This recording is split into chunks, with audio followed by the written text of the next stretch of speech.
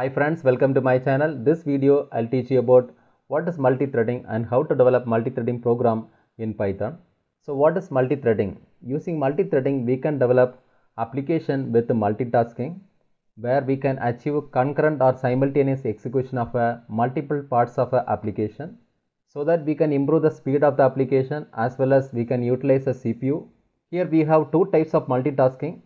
For example, we have a process based multitasking where multiple programs or process running in your system simultaneously which is controlled by your operating system. For example, if you are using a laptop, you can uh, open application browser. For example, you are using a browser. So when you are working in a browser, at the same time you can open an audio player and you can play a music file. Similarly, you can open a video file and you can open a movie. Similarly, you can uh, open a PowerPoint or you can work with an Adobe Acrobat reader or if you want to do any programming, you can open IDE. So at the same time, you can open these many applications. So this is called process based multitasking and it is controlled by operating system. So then we have another type of multitasking called thread based multitasking where we can execute several tasks simultaneously in a same program. Uh, we can divide the same program in multiple tasks and each task is defined as an independent thread and we can run it simultaneously. So this is what thread based multitasking. So I'll give another example what is thread based multitasking. So let's open a MS Word. MS Word you can type uh, you can write some content. For example, I can uh, type some content. This is a uh, data. So I have typed three words. So the moment I uh, start typing uh, in the status bar, I can see number of words I am typing and how many page I am using. The two information I can able to see the moment I am start typing it. So this is what thread based multitasking. So in the background, when you open a MS Word, in the background there are so many threads are started. Each thread will have an independent task. For example, one thread is calculating the number of words and another thread is calculating the number of pages you are typing. Similarly, if I make any changes in the content, for example, another uh, sentence I am typing sentence this this is a sentence okay this is a sentence. So instead of sentence if i make any mistake a sentence. So instead of sentence i'm typing a sentence. So what what happened is there is a you'll be getting a red red color line. So this line shows that this word is not meaningfully correct.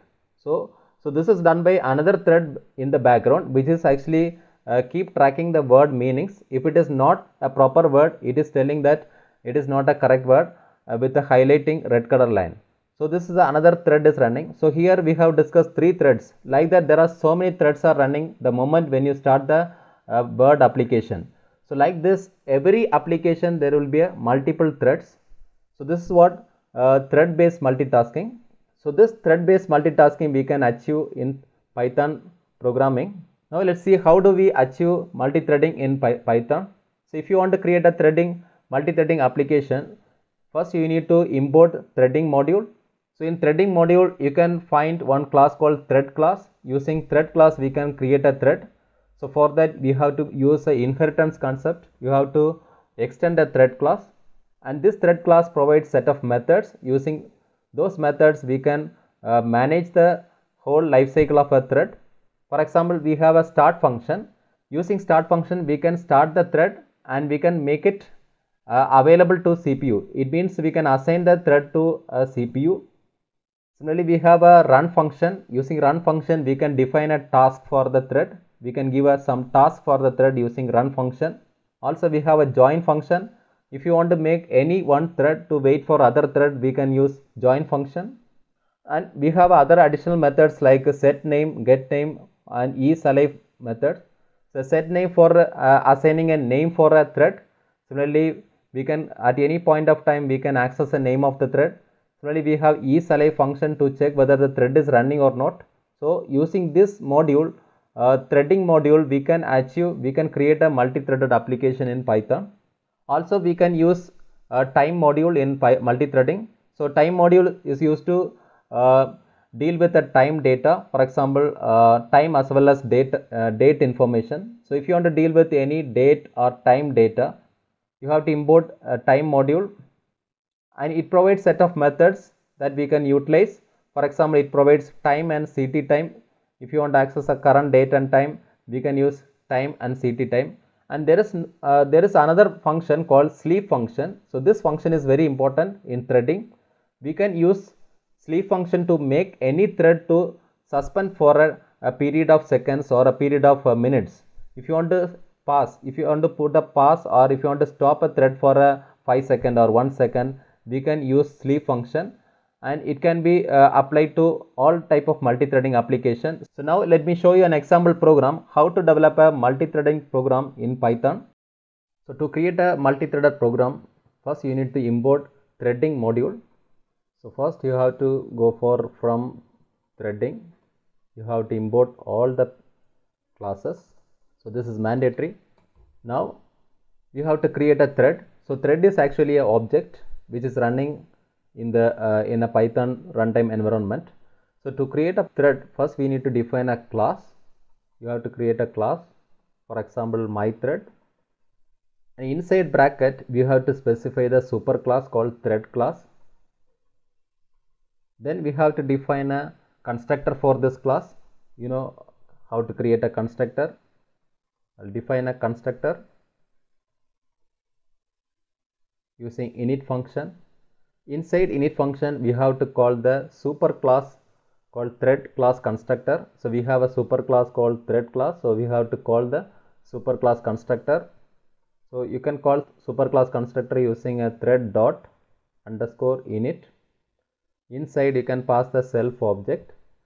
So after creating a constructor you can define a task for the thread to define a task for the thread we have to define a function called run so run function is used to create a task for the thread. Inside a run function we can write a task. For example, the task is to say hello. So it will print hello. So now we have created a simple thread class with a constructor and run function. The task for this thread is to say hello. Now let's see how to create a thread. I'm going to create a first thread. So first t1 is equal to I have to create one object for this class. Then I can set the name also using set name. The name of the thread is t1 assume that the name of the thread is t1 after creating a thread we have to start the thread.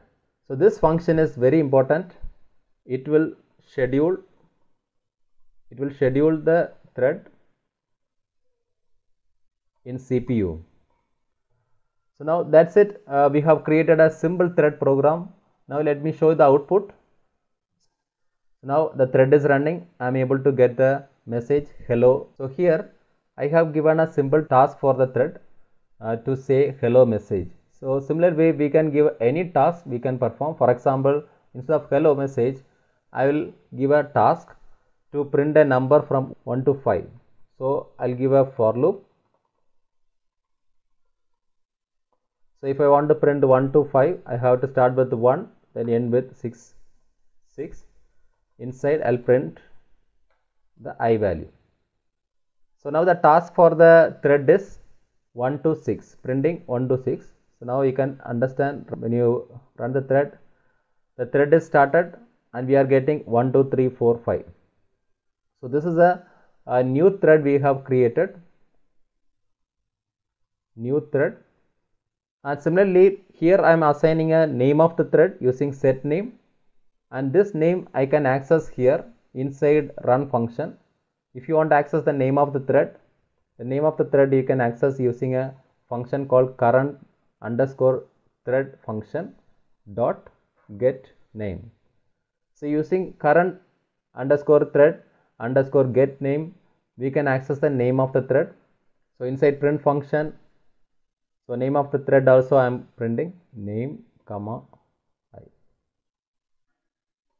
So, so now when you check the output T1 is saying 1, 2, 3, 4, 5 right. So, so far we have created only one thread. Similarly, we can create multi-threading. So, what does mean by multi-threading is creating many threads. So, here we have created just one thread. So, like this we can create multiple thread to create multiple threads, simply we have to repeat this process. So first I have created a T1 thread. So next I have to say set name T1. Similarly, I can create a T2, another thread, my thread, T2 dot set name. For this, I can give a, a value T2. So after creating uh, two threads, we can start the threads T1 dot start, T2 dot start. So this is called multi-threading. So here we have created a um, two threads, multiple threads.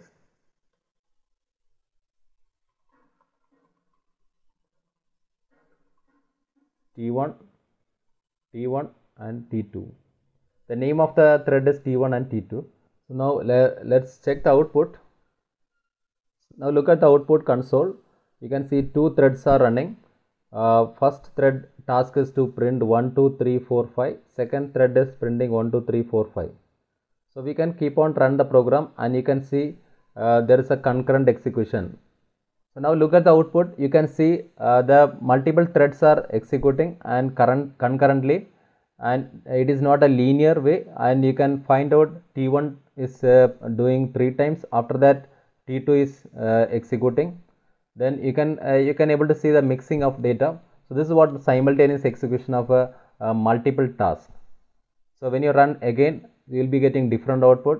So when you keep on running you'll get a different output. Sometimes it may be sequentially so sometimes you'll be getting a non-sequential order. So uh, here the cpu will decide which thread to run so we cannot uh, ensure the order of the uh, thread execution. So multiple threads can can take any order of execution based on the CPU de uh, decision. So this is how you can implement multiple threads in Python. And here you can notice here both threads uh, thread is doing the same job. It is printing 1 to 6 if you want to give a different job for uh, each thread what we can do is we are getting the name of the thread based on the thread we can assign a new job for example I can if the name is is equal to t1 I can give a different task. For example, I can ask the thread to do print so number from 100 to 105. So this T1 says that number 100 to 105 and if the thread is T2 we can give a, another task called for example if the name of the thread is we can write L if the name of the thread is equal to T2 we can give a, another task called uh, which will print the numbers from uh, 10 to 16 so here I am printing the name of the thread uh, as well as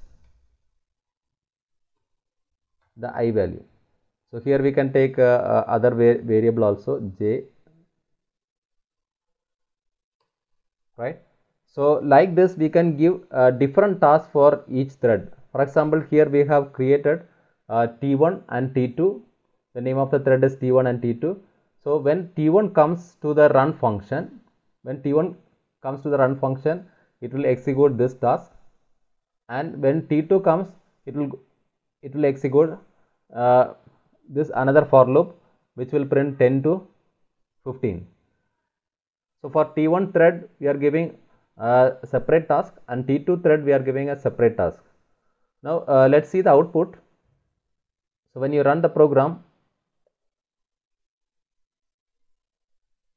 now you can see T1 is printing 100, 101, 102, 103 and T2 is printing 10, 12, 13, 14.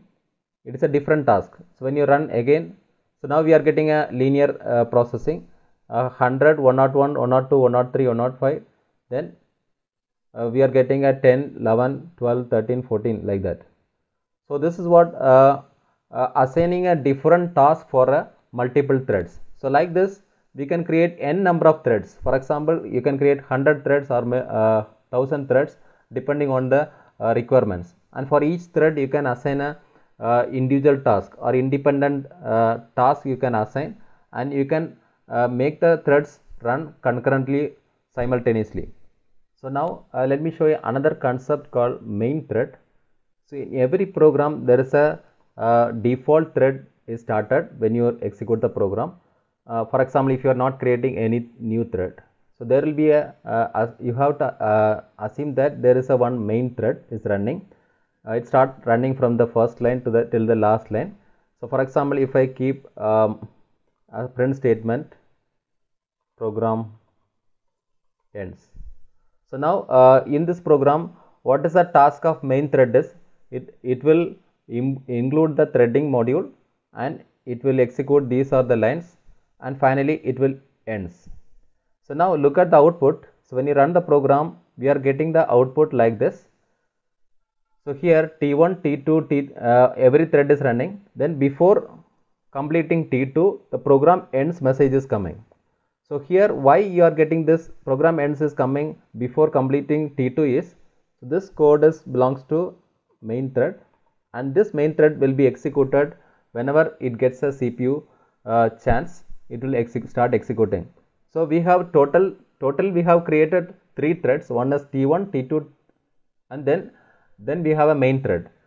So the recommended way of programming is always when you create a multi-threaded application so we have to make the main thread to complete at the end.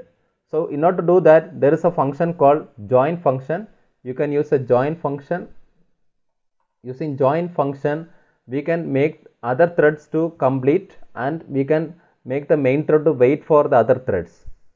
So for that before program ends we can ask the T1 to join complete and join by using join function T2 dot join so that the main thread we can ensure that main thread will be executing uh, always it will complete at the end. So now uh, when you after adding join function when you look at the output we can see uh, whatever maybe the thread is running the we can ensure that the main thread is executing at the at the end. So similar way there is another function called sleep function in time module. In time module there is a function called sleep. So this sleep function we can use in multi-threading. So if you want to make any thread to wait for one second or two second uh, for a period of a second we can utilize this sleep function. To utilize a sleep function, we have to import time module. From time, we have to import the functions. So after importing time module, we can use sleep function to make the thread to wait for a period of second. For example, after, uh, here I have a, a, thread T1. So after printing a, a 100, I want to make the thread put a sleep for 1 second. So what I can do is I can use sleep of 1. So this will pass the T1 thread 1 second. During that time the T2 will be executing. So now after adding sleep uh, sleep function now uh, now you can check the output. So now you can see the T1 T1 is actually uh, after printing 100 the T1 is sleeping for 1 second. During this time, the CPU the CPU becomes idle. So during this idle time is utilized by T2 thread. So here you can see uh, after printing 100, now I will show the code also. After printing 100, it is going for sleeping 1 second. So during this time, it can uh, that uh, that during this time the CPU can be utilized by T2 thread where uh, the T2 thread is completing the task. It is printing 10, 11, 12, 14, 15. So after that T1 is getting the chance. So this is what multi-threading. So when CPU becomes idle, other thread, the waiting thread will be getting executed. So when, when we are putting the T1 thread to sleep for 1 second, during this time the other thread is trying to execute the task. So similarly, I'll use sleep time for, similarly I'll use a sleep time for uh, T2 thread also. If I use sleep time, for example, here I am using 3 seconds. So now the T2 thread is uh, sleeping for 3 seconds so that other thread can utilize the time. Now you can see the output. So now after printing T1, T1 is waiting for 1 second. So during that time T2 is printing 10. So after 10 printing 10, T2 is sleeping for 3 seconds. During 3 seconds t1 is completing 3 3 tasks. So after that t2 is coming. So after t2 is printing 11 it is going for 3 seconds. During that period uh, t1 is executing the task. So this is what uh, multi-threading with a sleep function. So when you use sleep function so there will be a idle time. Cpu cpu becomes idle. So this idle time will be used by the uh, other threads. This is how we have to create uh, multiple threads in python. So so far we have discussed about creating a thread uh, using a class thread class and extending a thread class and how to use a run function and how to use sleep function and how to start the thread how to join the thread using join function. Thanks for watching this video